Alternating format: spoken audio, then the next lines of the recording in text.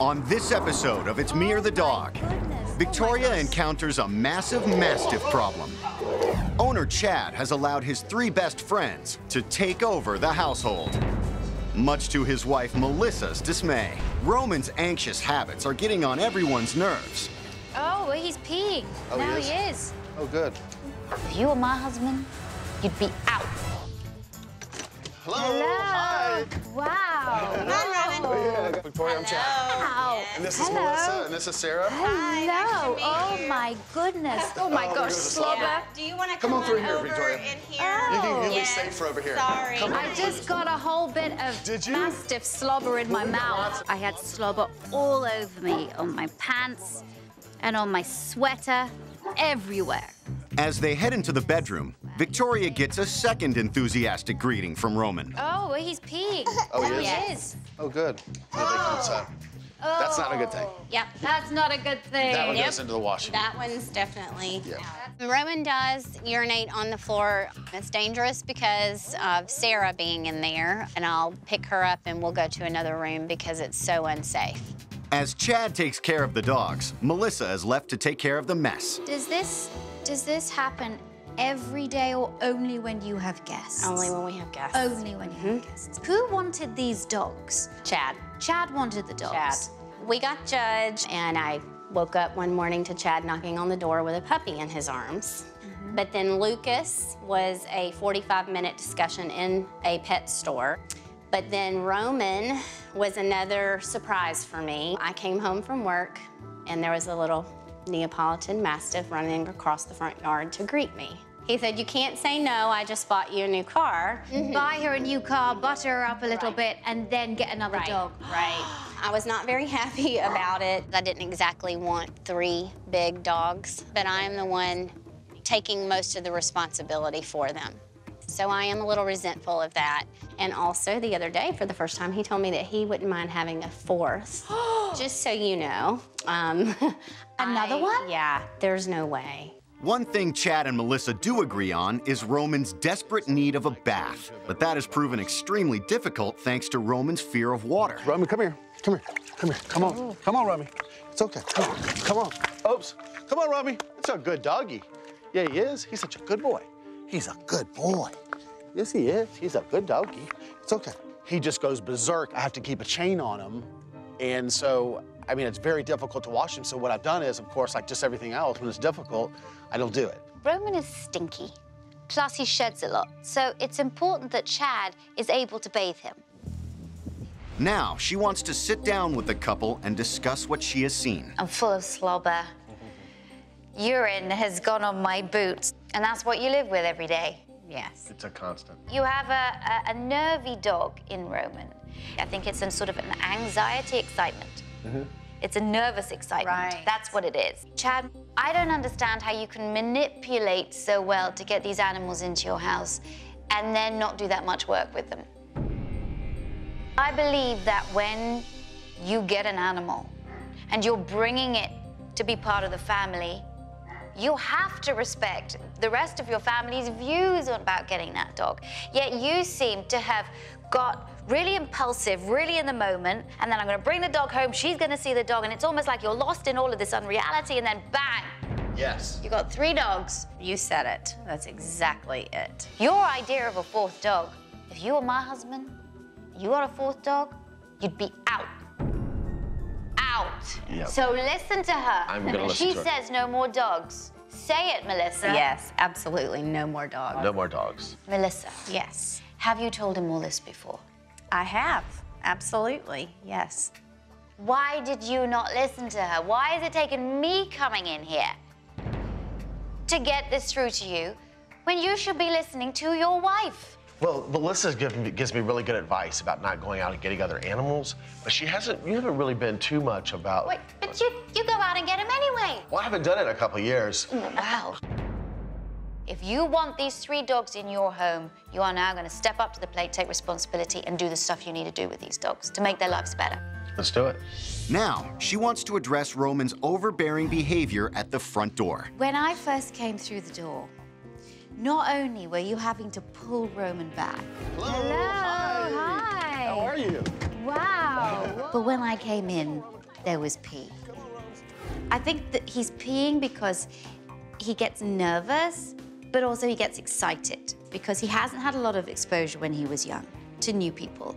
So the excitable pee is going to lessen a lot more when his life experience changes. Roman is basically unconfident.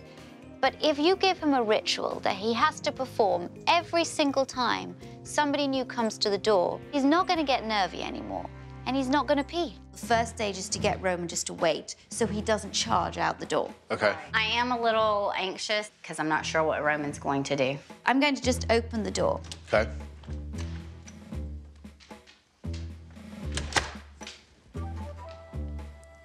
Back. Roman is a big, heavy, pretty willful dog, but I wanted to claim my space at the door, and I did that using body blocking. Stay.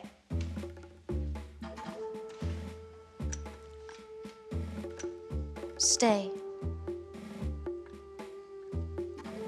You can see him thinking. So I'm just going to go out. Stay. And I'm going to ring the doorbell. Stay. When I rang the bell, Judge and Lucas, who were actually behind the baby gate in the kitchen, started to bark. The barking riled Roman up as well, but it was really important that I keep my cool and keep doing what I was doing. Stay. Stay. Stay. Ring it again. Stay. Stay. Good. I'd almost have to say that's like a magic trick. Roman's next challenge is to stay equally calm when a guest arrives.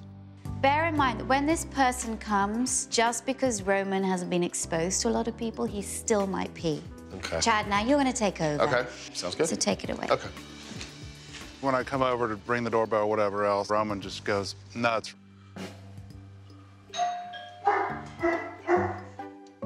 Roman? Roman? Over here. Please provide me some space. How are you today? Stay. Chad talks Come here. No, and talks I think um, we need to switch places. and talks to Roman as if Roman is a human being. Thank you very much. I really appreciate that. Okay, too much talk.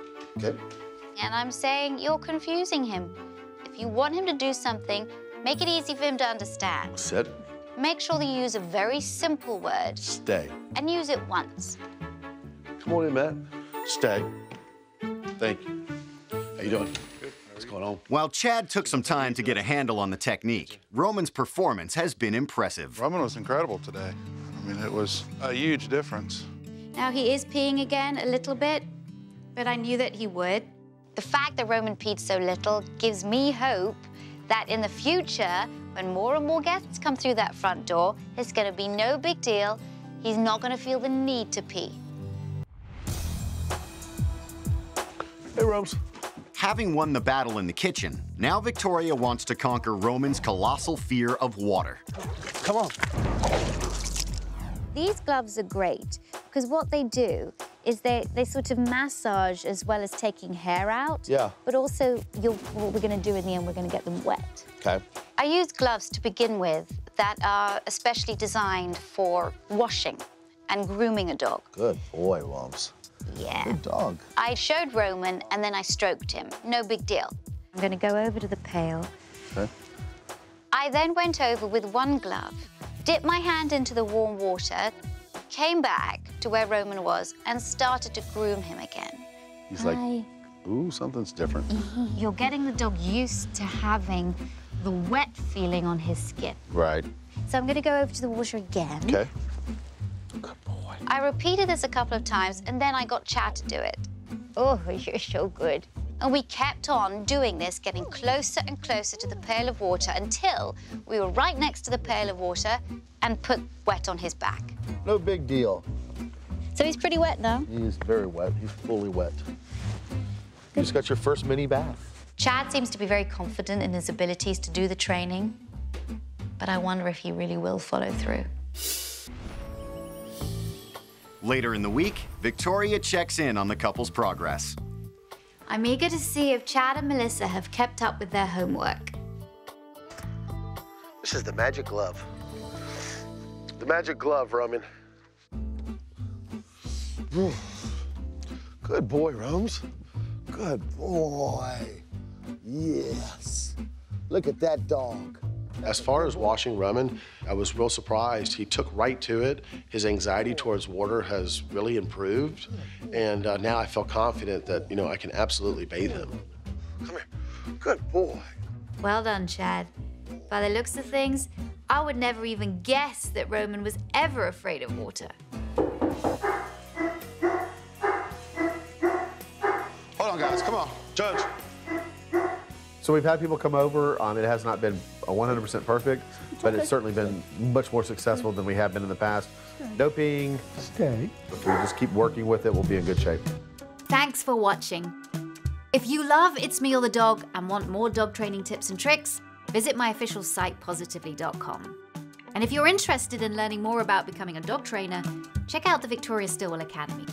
Links to both sites are in the description. I'll see you online.